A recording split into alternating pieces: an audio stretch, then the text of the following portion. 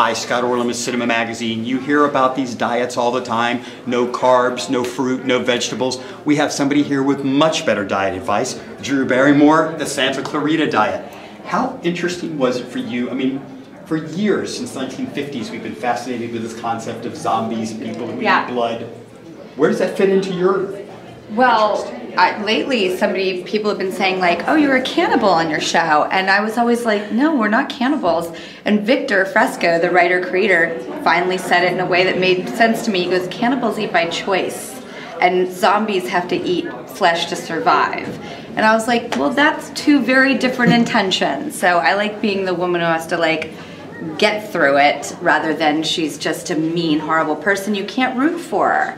But it's fascinating too, an examination of marriage, because you think there are obstacles in a marriage, and this, the husband, what he's willing to accommodate to pacify his wife. And who are we to say if you were married to someone for 25 years and they really were like your world and your partner for life?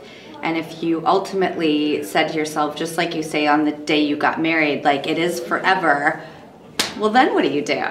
You have to work through the problems. You know, it's funny, as, as little kids, we love to get in mud and we love to get dirty. As we get older, we want to be a little more pristine. Right. And in this movie, God knows the makeup no, effects. are- messier, messier, bloodier, vomit, gore. It was so fun. Oh What my is God. that experience like? I mean, because most people are not going to have to vomit on camera.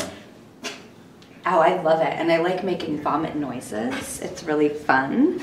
Um, I I got to do like a whole long take where I just did different retching sounds over and over. Like, um, so yeah, I, I give my kids little like machines too that make silly noises, like little sound machines.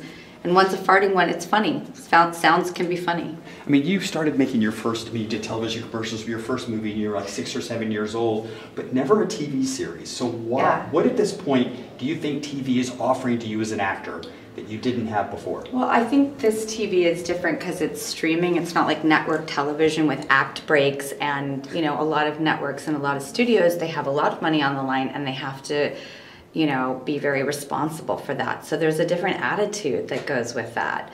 And I will say, specifically working with Netflix, they have a tremendous amount of confidence.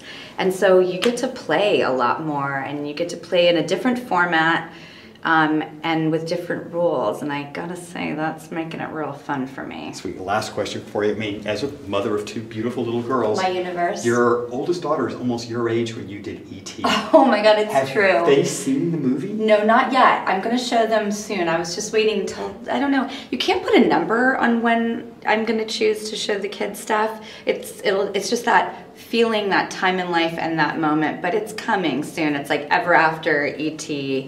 I think. In a few and years for Charlie's Santa Clarita Diet. A few years. Yeah, and when they're older, Santa Clarita Mom, Diet. what were you, what, psychologically, what have you put us through? As always, Drew Barrymore, I love thank you, you so much. Thank Oh, you. Uh, Santa Clarita Diet, Drew Barrymore, this is Scott Orlin. Until next time.